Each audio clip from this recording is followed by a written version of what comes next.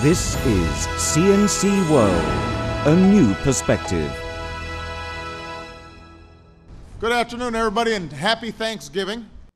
Attending the event with his two daughters, as in the past, Obama pardoned the turkey named popcorn and the alternate turkey caramel. Popcorn and caramel were both from a farm in Minnesota and were named by local people.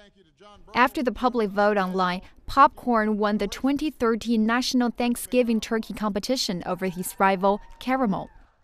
Now, 80 turkeys on John's farm competed for the chance to make it to the White House and stay off the Thanksgiving table.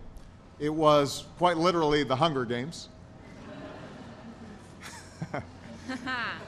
and then, after weeks of vocal practice and prepping for the cameras, the two tributes, Caramel and Popcorn, went head to head together for America's vote as top gobbler.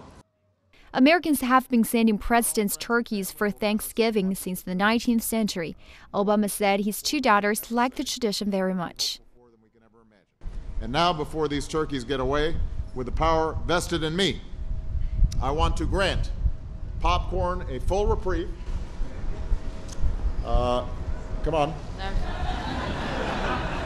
I want a pop, a popcorn. You have a full reprieve from cranberry sauce and stuffing. Uh, we wish you well, and we're going to give uh, Caramel a break as well. All right? After the pardon, both birds are being raised and displaced at the farm where the first U.S. President George Washington used to live till the next January. Thanksgiving is one of the most celebrated American holidays.